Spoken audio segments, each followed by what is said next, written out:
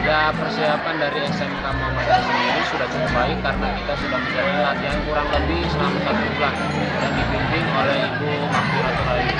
Dan semoga saja SMK kita bisa memenangkan juara. Dan selanjutnya apalagi yang akan diikuti lomba berikutnya? Dan selanjutnya kegiatan kita di bulan Agustus ini adalah karnaval yang itu temanya adalah penjajahan di atas dunia dan harus dihapuskan. Persiapan sekolah kita dalam melaksanakan kegiatan PBB ini. Eh, sekolah kita sih sudah sangat matang untuk persiapannya karena sudah dipersiapkan dari minggu sebelumnya dan anak-anak juga terlihat sangat antusias sama sekali tidak ada keraguan di dalamnya semoga kita menang semangat Terus lalu dukungan seperti apa yang diberikan oleh sekolah kepada siswa-siswa SMK Muhammadiyah Ambarawa? tentunya dukungan spiritual